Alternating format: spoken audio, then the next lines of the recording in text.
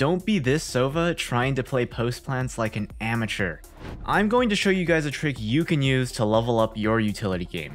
So the first thing to know is that in Valorant, your sideways momentum does not affect the trajectory of your abilities, which means you can throw utility while moving left or right.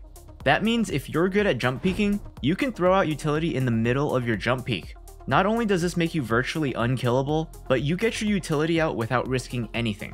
You can do this on other agents too, and it's absolutely busted if you do it right.